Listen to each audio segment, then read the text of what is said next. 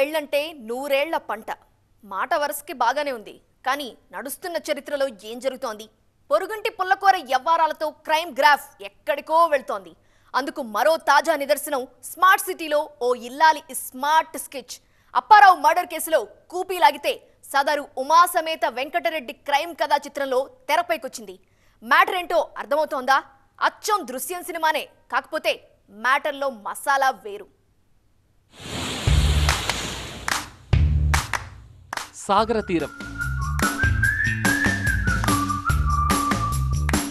Love వైజాగ్లో ఇస్మార్ట్ సామజ వరగమన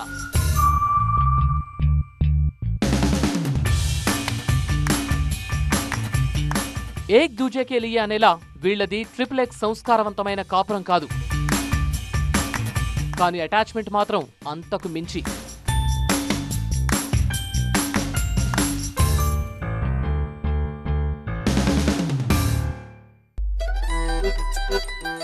ఆయనకు పెళ్ళయింది.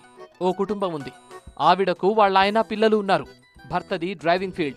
వచ్చే సంపాదన కన్నా తాగుడుకు తగిలేసే ఖర్చే ఎక్కువ. మరి ఇల్లు గడిచేదెలా? బాధ్యతాయుతంగా గడప దాటి ఓ సెక్యూరిటీ ఏజెన్సీలో జాబ్లో చేరిందామె. అక్కడ టచ్ అయ్యాడు మిస్టర్ వెంకట్రెడ్డి. కటౌట్ గెటప్ చూడ్డానికి ఇమాందారి పెద్ద మనిషి లెక్కే. కానీ సారువారి బుద్ధి మాత్రం ఎట్టాంటిదంటే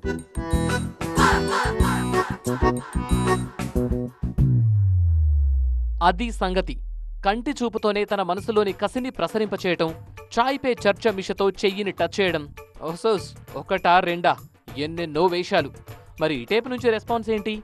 భయంతో కూడిన గౌరవమా? మౌనం అర్ధాంగీకారమా? మొత్తానికి మ్యాటర్ ట్రాక్లో పడింది.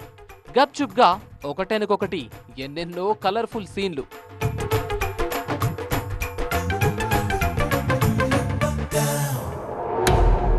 నీకు కావలసింది నా దగ్గరుంది అనే రేంజ్లో క్విడ్ ప్రోకో ఇల్లీగల్ లవాయనం పీక్స్కెళ్ళింది.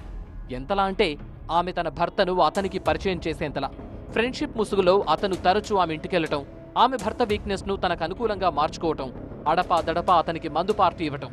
వెరసి తన ఎంజాయ్మెంట్కు రూట్ క్లియర్ చేసుకున్నాడు మిస్టర్ వెంకట్రెడ్డి. కట్ చేస్తే విశాఖ న్యూపోర్ట్ పిఎస్ పరిధిలోని వియ్యపువానిపాలెంలో ఓ వ్యక్తి దారుణ హత్య.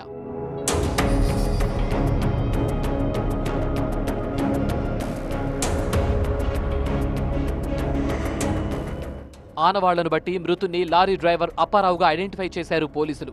విషయం తెలిసి భార్య కుటుంబ సభ్యులు పరుగు పరుగున తరలివచ్చారు. నిర్జీవంగా పడి ఉన్న భర్తను చూసి భార్య దుఃఖం కట్టలు తెగింది.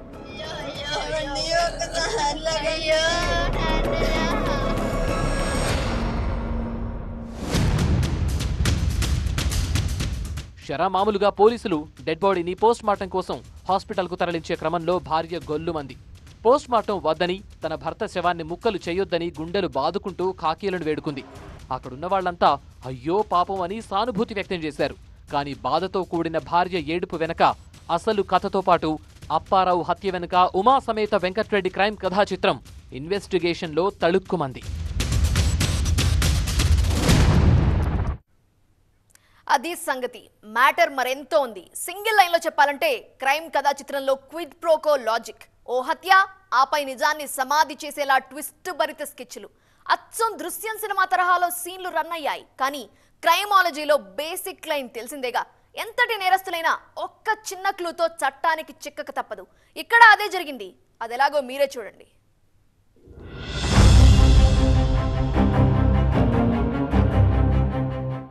అప్పారావుకు మద్యం వ్యసనం ఉంది ఇల్లు గడవడం కష్టంగా ఉందని వెంకట్రెడ్డి సెక్యూరిటీ ఏజెన్సీలో కొలువులో చేరింది ఉమా. ఆమె ఆర్థిక కష్టాల్ని తనకు అనుకూలంగా మలుచుకున్నాడు వెంకట్రెడ్డి. అడపాదడపా డబ్బు సర్దుతూ ఏకంగా ఆమె ఇంటికే రాకపోకలు కొనసాగించాడు. వీళ్ళిద్దరి వ్యవహారం అప్పారావు కంటపడింది. భార్య ఆ సంగతి పసిగట్టింది. తాగొచ్చి వేధించడంతో పాటు ఈ మ్యాటర్ తెలిసి ఇంకెంత టార్చర్ చేస్తాడో అని హడలిపోయింది. అలా జరగకుండా ఉండాలంటే పెనిమిటిని ఫినిష్ చేయడం ఒకటే మార్గమని వెంకట్రెడ్డి చెవిలో ఊదింది. అతను కూడా సై అన్నాడు. తన ఫ్రెండ్ సింహాచలానికి మ్యాటర్ చెప్పాడు. ప్లాన్లో భాగంగా అప్పారావును మద్యం పార్టీకి ఇన్వైట్ చేశారు. ముగ్గురు కలిసి మద్యం తాగారు. ఆ తర్వాత అప్పారావును హత్య చేశారు. డ్రైవర్గా పనిచేస్తాడు.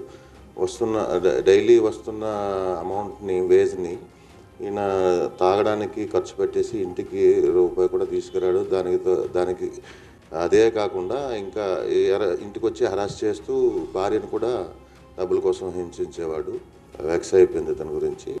ఆ క్రమంలో వెంకటరెడ్డితో మాట్లాడి ఆయన ప్లాన్ చేసి ఇంకొక వ్యక్తి తాలూకా సింహాచలం అనేసి ఆయన దగ్గర పనిచేస్తున్న సెక్యూరిటీ గార్డ్ తాలూకా సహాయం తీసుకొని ఈ డిసీజ్ని గాజువాక ప్రాంతంలో చంపి ఇక్కడ తీసుకొచ్చి పడేయడం జరిగింది. నిజం బయటకు రాకుండా ఉండాలంటే అప్పారావు శవం మాయం కావాలి. అందుకోసం సెక్యూరిటీ గార్డ్ సింహాచలంతో కలిసి మరో ఆపరేషన్.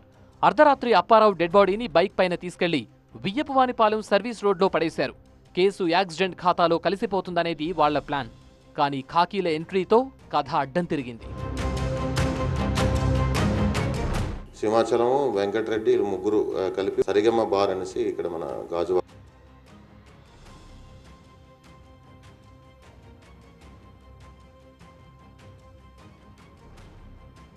జేకే టవర్స్ దగ్గరకు వచ్చి ఆ సెల్లార్లో తీసుకొని వెళ్ళి ఆయనకు మందు ఎక్కువైపోయిన తర్వాత ఆయన కాన్షియస్ తప్పిన తర్వాత ఆ సెల్లార్లో ఉన్న ఆల్రెడీ ముందుగా ప్రిపేర్ చేసుకున్న ఈ కిటికీ తలకు కమ్మల కమ్మి అని ఒకటి ఉంటుంది.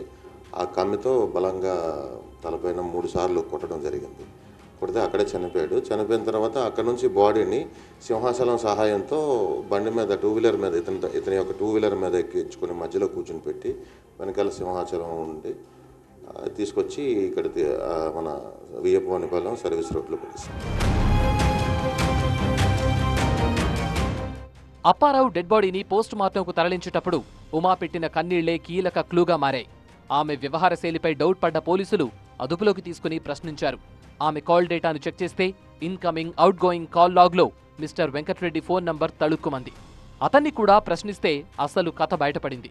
అప్పారావును హత్య చేశాక scene to scene frame to frame ప్రియురాలికి phone చేసి చెప్పాడు వెంకట్రెడ్డి.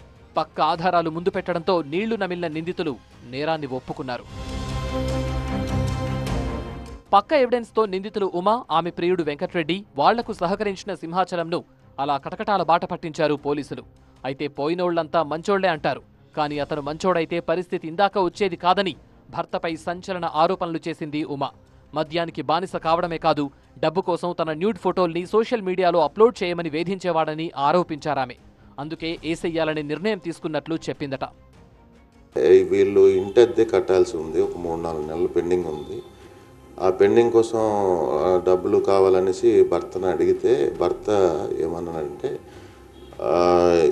నీ న్యూడ్ ఫోటో ఒకటి తీసి దీనిలో యూట్యూబ్లో పెడతాను అప్పుడు డబ్బులు వస్తాయి దాన్ని బట్టి నువ్వు ఇది చేసుకుంది కానీ అనేసి చెప్పడంతో ఆమె ఇంకా ఇతని మీద కక్ష పెంచుకుంది. తాగి వేధించాడని భర్తను చంపేసిందా? ప్రియుడి మోజులో అనుబంధాల ఖూనీ జరిగిందా? దర్యాప్తులో తేలిన నిజాలు కళ్ళ ముందున్నాయి. మరి నేరం ఎవరిది? శిక్ష ఎవరికి? తండ్రి హత్యకు గురయ్యాడు. తల్లి కటకటాల పాలైంది. ఉమా అప్పారావుల పిల్లల పరిస్థితి ఏంటి? వాళ్ళ భవిష్యత్ ఏంటి క్షణిక సుఖాల కోసం వెంపర్లాడితే చివరకు మిగిలేవి ఇలాంటి అనర్థాలే